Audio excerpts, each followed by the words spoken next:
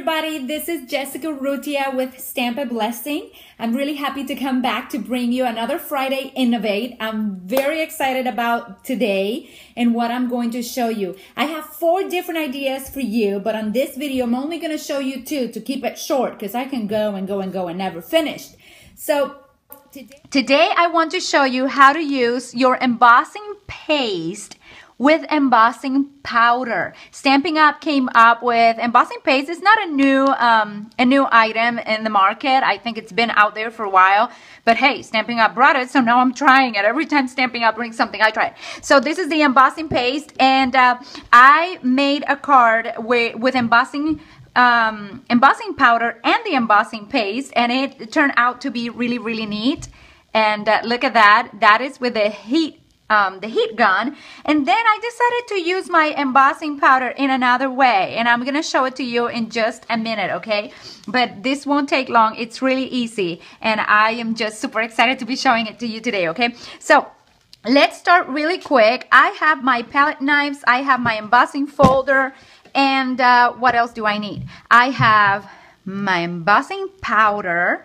And I have, in this case, I'm not going to use my wax paper. I'm going to use my little, um, this thing that the name is not coming to me now.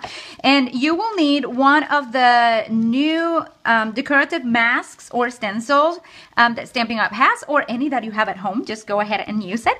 And today I'm going to use the diamond shape for this uh, for this sample. And I have a little piece of paper right here. I also have my washi tape. So I'm gonna get some washi tape to secure my my mask okay? So get some washi tape or any kind of tape really but I like washi because it's easy and it I can peel it off quickly. And let me show you how I do it here. I'm gonna put my paper in there. I'm going to align it there and I'm gonna put some of my washi tape on the sides.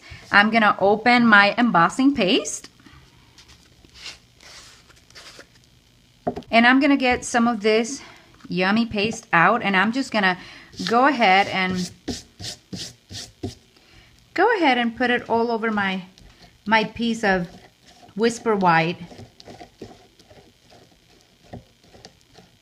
Let's see, I just move it around.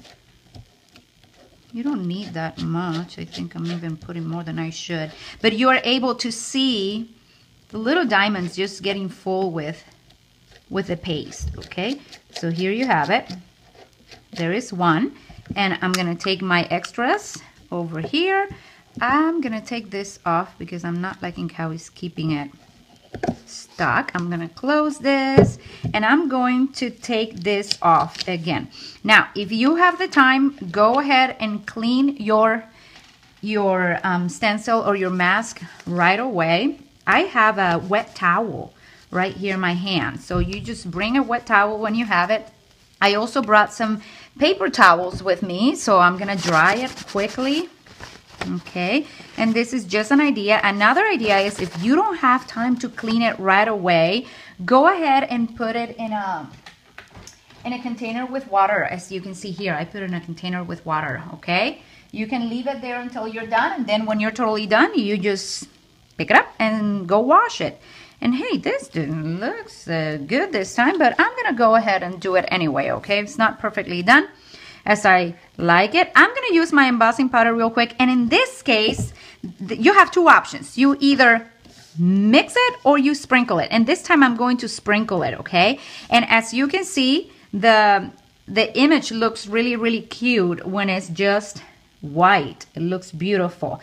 Brings such a dimension. But in this case, I'm just, before it dries, I'm just going to put some of my embossing powder on top like that. And I'm to deal with the rest later. So I'm to put this over here.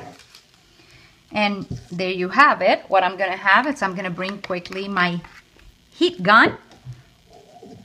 And you can wait or you can do it. I waited um, with several samples and you know what? It looks exactly the same. It kind of bubbles up a bit. So now we're to go ahead and I'll show you how this changes. I think that is done. And that is one of the options that you have. As you can see it right here. That is one of the options that you have. This is the prior one that I made with this same stencil or mask. And then I created a card with it that I already showed you. Here it is. And I use my other stencil. I'm going to do it a little different. And I have another embossing powder that is in gray. And what I'm going to do is I'm going to take a piece of cardstock again. I'm going to bring, let me see what I can bring.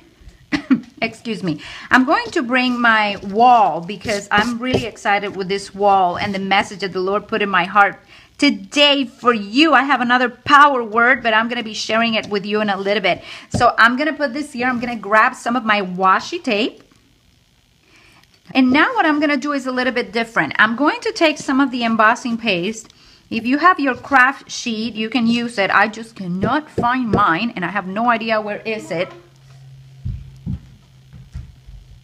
Now I'm gonna, you're gonna take um, wax paper instead of your craft sheet.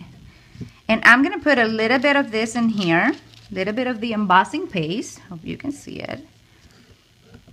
There you go. And then I'm gonna take the embossing powder, and this is just another way of coloring your, your paste. Instead of using ink, refills like many people are using and like our company also tells us that we could do. You can just add a few drops of ink refill, but I have chosen to add the embossing powder right on it to give the color. So you're going to just move it around until your embossing paste has that. And you know what I love about this? It's, it's, a, it's an embossing powder that is like silvery. It brings like that texture of, of a wall, of a real wall on it. And then you're just going to put it around your paper like you usually would. Okay, and oh dear, I think I make too much. I'm going to use it here. Da da da. Look how cute this is going to look. It's absolutely gorgeous. You're going to love it. And this one I'm not going to set with a heat tool because it will set on its own. It doesn't need anything, okay? It's totally fine. So let me raise my mask. Okay, I'm going to take this off. And since I don't want to wash it right now, I'm going to go and put it in the in the tray with water. And just put it there. And look how beautiful that looks. Isn't that absolutely gorgeous? I love it. Love it, love it, love it. This I love it. Love it, love it, love it. This is my favorite. I'm to show it to you right here. Hope you can see it well. Okay, so those are the two different ways that you can um, use it with embossing embossing powder and the embossing paste. I really love it. And I want to share a word with you really quick this morning. I was um, having my devotional and this really spoke to me this week as I was making this card and it came actually the inspiration of this card was making a wall and remembering who my wall is and I read in Isaiah 26 I read this week Isaiah 26 verses 1 through 3 I'm going to read them to you. It says we have a strong city. God makes salvation its walls and ramparts. Open the gates that the righteous nation may enter the nation that keeps faith.